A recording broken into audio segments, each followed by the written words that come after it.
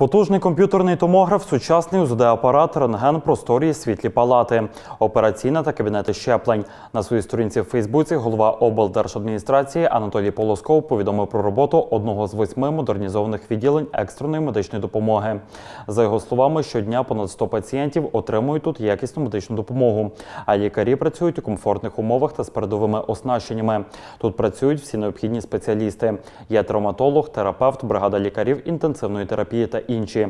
За потреби залучають і вузькоспеціалізованих фахівців. Приймальне відділення в Ужгороді реконструйоване в межах президентської програми Володимира Зеленського Велике будівництво.